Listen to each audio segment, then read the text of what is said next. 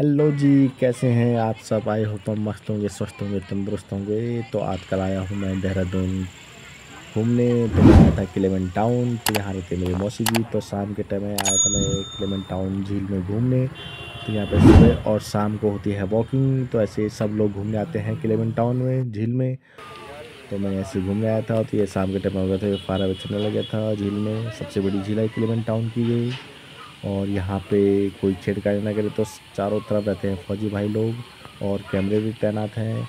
इसमें कोई झील में कोई छेड़खानी ना करे। यहाँ मच्छी और बतख उतक रहते हैं।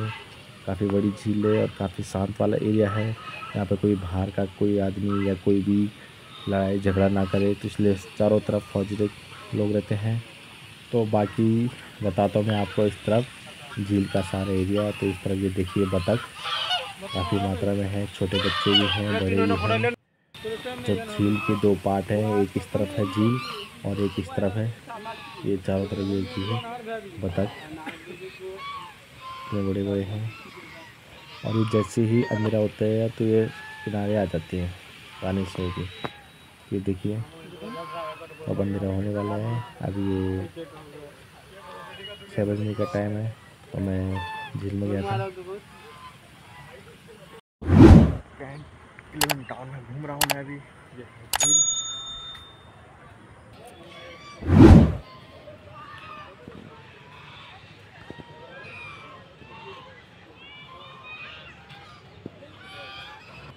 तो यहाँ पे मच्छरों के लिए लाते हैं, जैसे कोई आटे आटे के गोली लेके आते हैं तो ऐसे मच्छरों को देते हैं तो ऐसी लेके आते हैं। ये मच्छरों को दे लेते हैं चारा। तो मच्छियाँ ऐसे खा के उछल रही थी, तब काफ़ी मात्रा में मच्छी आ गई थी, ऊपर वैसे दिखनी भी थी। तो जैसे ही इनके मच्छी की चारा दिया। तो गाइस में आया हूँ। शाम के समय हो चुका है, अंधेरा होने वाला है। तो छः बजने वाले हैं। तो मैं आया हूँ क्लेमेंट टाउन झील में। तो ये देख देखिए बतख भी आए हैं किनारे किनारे तो इतनी बड़ी झील है। तो मैं क्लेमेंट टाउन झील में ऐसे टहलने आया हूँ। सुबह और शाम का सबका वॉकिंग टाइम होता है ये। तो सब लोग आज से आगे आगे घूमने आए, कोई लोग घर चले गए हैं। बाकी पूरा पार्क भरा था अभी ये। यहाँ पे पूरी जॉगिंग करते हैं। ये सारा ये सारा एयरपोर्ट का एरिया है। आगे उस तरफ़ हमारे फौजी भाई लोग हैं। जो पूरे यहाँ पे तैनात रहते हैं जो यहाँ पे कोई भी छेड़खानी ना करे कोई भी या लड़ाई झगड़ा ना करे यहाँ पे झील पे कोई गिर ना सके तो सारी सावधानी रहती है यहाँ पे। सबका। और अभी तक पानी बंद था अभी ये चालू हुआ है। ये झील का पानी हो गया है चालू। एक उस तरफ़ है तो एक तो ये एक इस तरफ़ है। पानी का फुहारा। ये देखिए। बाकी अंधेरा हो गया है। तो मैं भी चलता हूँ थोड़ी देर में अब घर सब कम कम लोग घूम रहे हैं। कोई उस तरफ़ बैठा है तो कोई वहाँ बैठा है। इस तरफ़ कोई है नहीं। तो मैं भी चलता हूँ अब। उसी तरफ़ थोड़ी देर में जाऊँगा घर।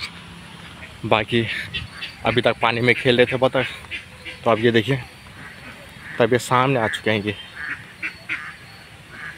तो है लोहे वाला पुल। तो झील पार करने वाला। बाकी इतनी बड़ी झील है, यहाँ से वो वहाँ तक। बीच में भी एक पुल है। बाकी ये देखिए, ये पुल है लोहे पार करते हैं। बाकी इस तरफ़ ये पूरी तार बार हो रही है। जिस तरफ़ से कोई जंगली जानवर ना आए, क्योंकि इस तरफ़ पूरा जंगली वाला, जंगल वाला एरिया है। और ये सामने बड़े बड़े पेड़ भी हैं। बाकी इस तरफ़ ये सारा एयरफोर्स का एरिया है। ये देखिए। तो कुछ फौजी भाई लोग इधर भी हैं। एक पना टैंक है। तो एक पुल ये है। तो कुछ बता के रहे नीचे।